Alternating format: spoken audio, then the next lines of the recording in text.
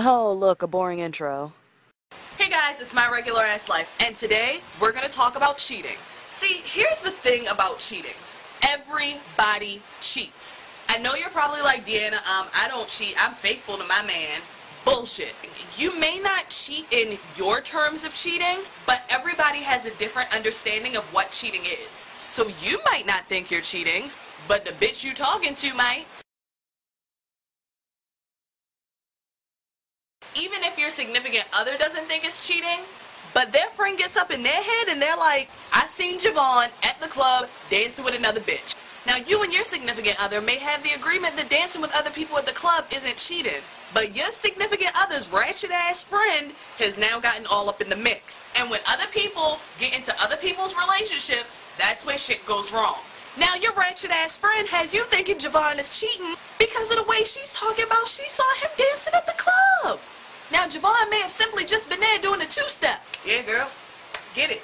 But your ratchet ass friend has you thinking he was dancing like this. Yeah, girl, back that ass up just like that. Uh, uh, uh, uh, oh yeah. And this is where the problem comes in. And now, you're wondering, are you stupid for thinking to dance with somebody else isn't cheating? Or is your ratchet ass friend overreacting? What I'm really trying to say is cheating is a very fluid thing. One person may think looking, texting, talking to, Facebooking, tweeting, hanging out with, fucking daydreaming about anything could be cheating. And another person's definition might not be. What you have to do when you're in a relationship is, at the beginning, define ground rules. Come to an agreement on what is cheating and what is not cheating but do not set yourself up. Just because your partner says texting or hanging out with uh, another person alone isn't cheating, but you think it is, try to come to a mutual agreement. Because later down the line, you're going to be upset when this motherfucker is out hanging with somebody else. You call him, and he's like, oh, I'm out with Shaniqua.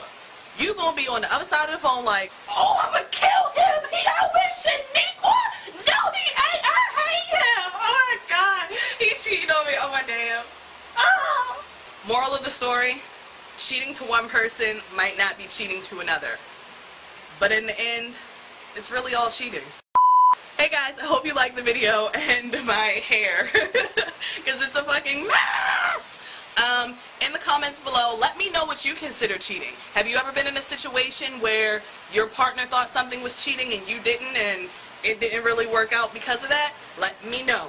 Other than that, if you like the video, give it a thumbs up, put it on your Facebook, and tweet it out on Twitter. You can also follow me on Twitter, like me on Facebook, find me and friend me on Google+, Plus.